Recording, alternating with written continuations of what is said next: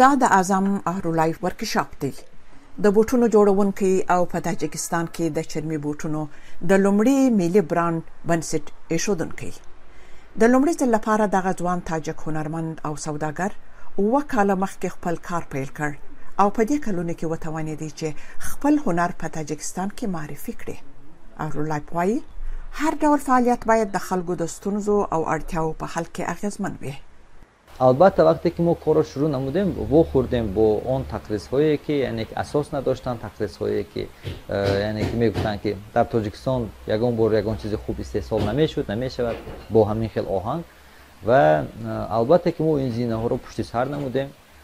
لیکن این به جامعه تاجیکستان یگان علاقه مندی ندارد در همه جامعه وقتی که یگان چیزی نو هست یگان فعالیت هست همه وقت این این چیزا هستند اعظم د بوټونو جوړولو درمخه د خبریال په توګه پیژندل کیدی دی وایي د هنرمندانو په اړه یې ډیر رپوټونه چمتو کړي او یوه ورځ یې د بوټ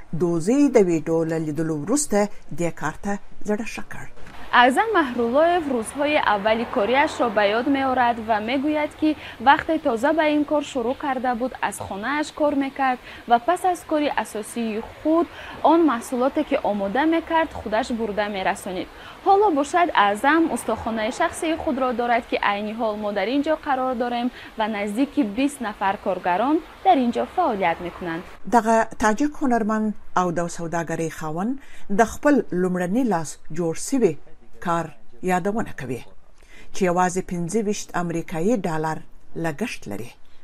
د بوټ له چمتو کولو وروسته هغه په خپل پخواني ملګري وپلورل.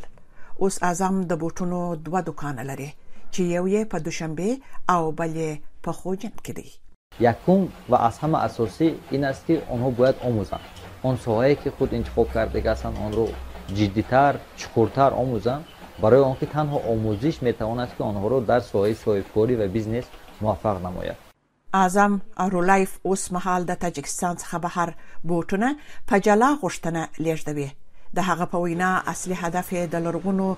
هنرونو معرفي کول دي او غواړي وښيي چې د لوړ کیفیت لرونکو محصولات چې په نړیوال بازار کې سیالي لري په تاجکستان کې تولیدیږي.